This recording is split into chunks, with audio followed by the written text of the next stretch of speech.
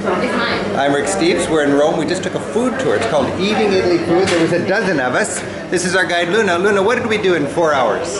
Four hours, I'm going to cut it to you in 13 seconds. So, we started off with the cornetto and tiramisu Barberini. We had the uh, pizza margherita, volpetti più, prosciutto di San Daniele, salame al the reggiano, volpetti.